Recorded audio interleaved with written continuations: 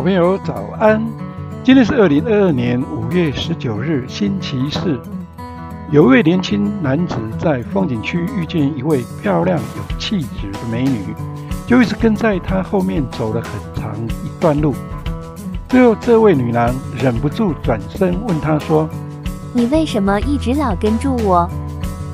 他很诚恳地对她表白说：“因为你是我所见过最美丽、最有气质的女人，请你答应我。”当我的女朋友，女郎回答说：“现在只要你回头看，就能看到我妹妹，她长得比我还漂亮。”那位男子听了，马上转过身，但看到的只是随处可见到的普通女子。你为什么骗我？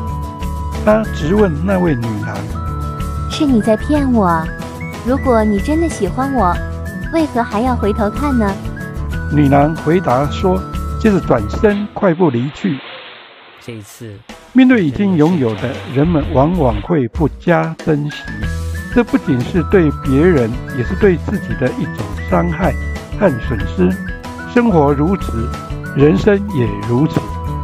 犹豫不定的目标，只能让你前功尽弃，一无所获。最后，祝好朋友珍惜所有，不离不弃。拜拜。